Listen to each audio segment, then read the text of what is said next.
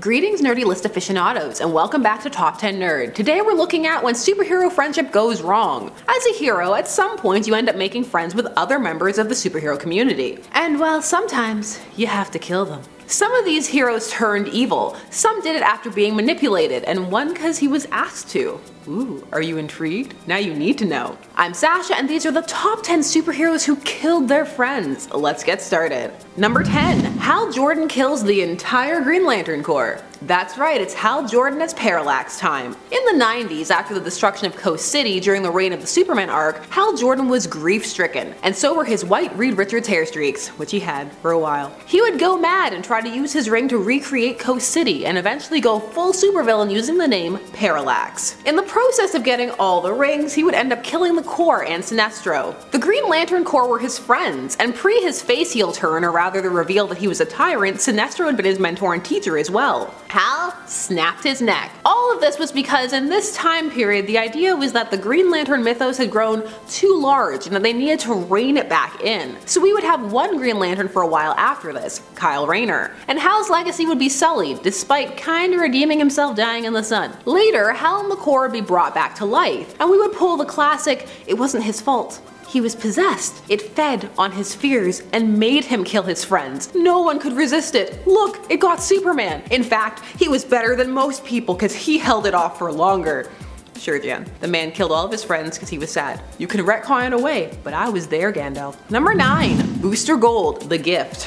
Booster Gold has the ability to time travel, and with that ability comes the potential to radically alter the timeline, and erase people from existence, or just create scenarios where they end up dying. Don't change timelines. This has been a PSA. Leave them alone. So in the Tom King story arc The Gift, leading up to the fake out Batcat wedding, Booster decided to get Bruce a present, what every little boy wants, for his parents not to have been murdered in front of his eyes. However, this resulted in some ripple effects throughout the timeline. People erased from existence, and if Hal makes it one more week after fight clubbing himself, I would be very shocked. He beat himself up because he could.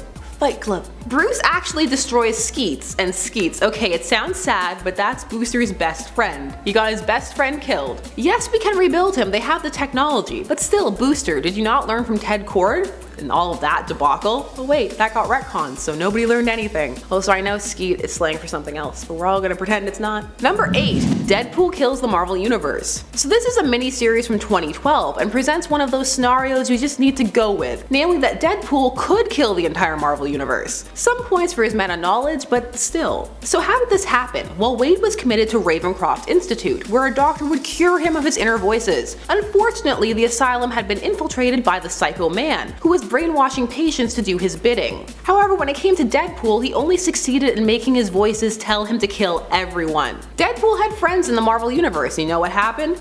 Dead, murdered in elaborate ways. And because it's Deadpool, he can even exceed the reach of just his own universe. Early era Deadpool was a different beast than the one most people know today. Number 7. Captain America and Black Widow. Now the Captain America we're talking about is Hydra Cap, but never forget, Hydra Cap was real Cap, because the timeline was altered and the Cap they went and got was from the unaltered timeline, but he was brought to this new status quo one where all the people in it are from that one.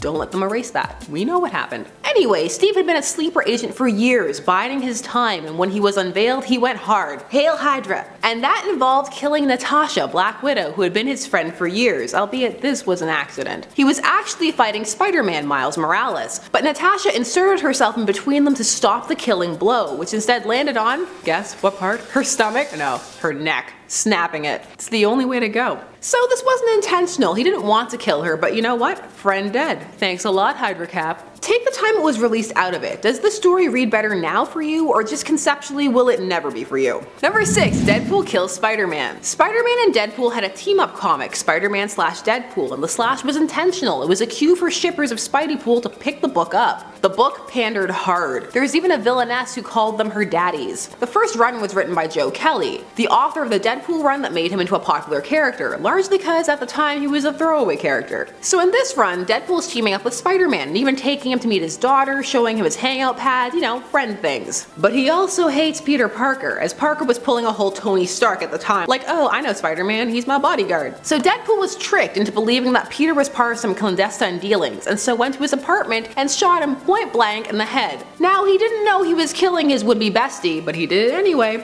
He would go to bring Peter back to life though, still not knowing he was Spider-Man. Number 5. Spider-Man kills Deadpool. That's right, because turnaround is fair play. Peter also killed Wade in this book. After his whole I was dead thing, One More Day reared its ugly head again.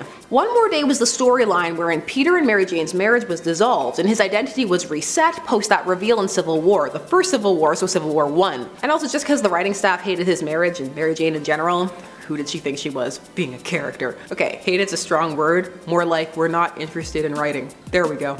So after being dead, Peter began to have an inkling that there was something missing in his life. Something wasn't quite right, and he would become a darker character because of it, even contemplating killing. Deadpool, who was horrified at the path his friend was headed down, tried to show him that he was turning into something that wasn't, well, the best, not very heroic. And then a fit of rage, he stabbed Deadpool through the chest, and also did a little bit of throat slicing that killed Deadpool. Of course, Deadpool's healing factor allowed him to come back to life, but that is not cool. You don't kill people who are just looking out for you, even if they will just get better in a few hours. Number 4. Dr. Manhattan kills Rorschach. Now some of you may be saying, were Dr. Manhattan and Rorschach friends? And well, as much as Dr. Manhattan could be friends with anybody at that point. In a way, him killing him demonstrated that. Also, if you take into account the extended canon, which I know for some people is blasphemy, they don't exist, they're not real, they're apocrypha, there was a timeline there though where they were partnered together, and not Dr. Manhattan and Laurie. So at the climax of The Watchmen, spoilers for a comic from the 80s, it was revealed that Ozymandias had set a plan in motion,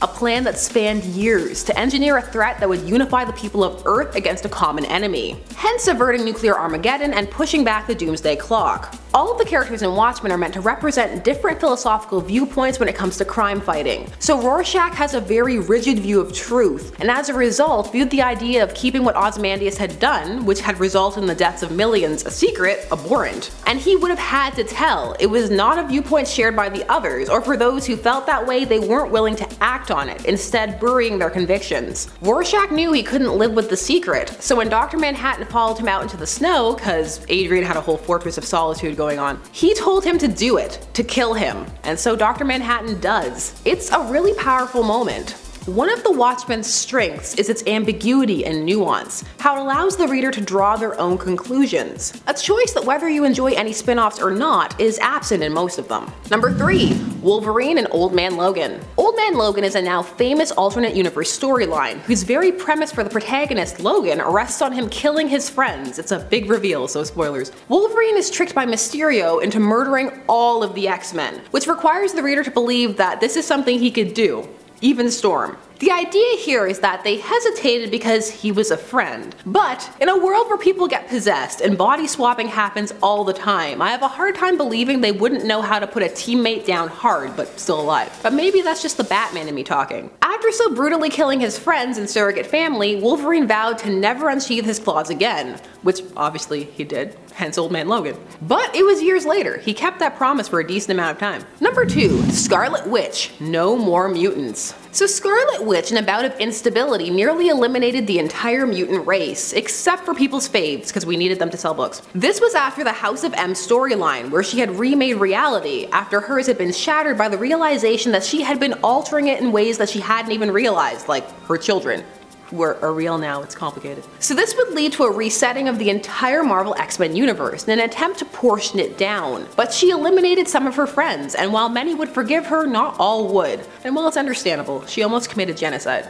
Rogue's not over it. And number one, Superman kills Batman. Superman and Batman have an interesting history when it comes to their friendship. They started off as best friends, no question, but it would get more complex over time, with their differences in personality coming into play and resulting in the idea that at the start they would have some conflict, you know, before the whole best friends. However, the canon is that they are good friends, be it instant or hard fought. When it comes to killing Batman, Superman has done that more than once. But let's look at one of the more iconic ones, and a recent one. He killed him in the New Order timeline in Nightwing's comics with his heat vision. And this was because he was under the influence of black kryptonite. This would result in a dystopian timeline set in motion by Dick Grayson, who would establish a new order. He also seemingly killed him in Dark Knight's Metal 2 with that famous panel where he punches right through him, but psych, that was Clayface. Why is this above all the mutants? Well, it's because these two are best friends. It's shocking. Friends shouldn't kill friends. Don't do it. They won't appreciate it. I'm Sasha and thanks so much for watching Top 10 Nerd. Please tell me of any other instances you can think of where superheroes killed their friends because I want to hear them because I'm that person. Please don't forget to like, share, comment, and subscribe and hit that bell notification so that you never miss a vid. And we'll see you again soon. Bye bye.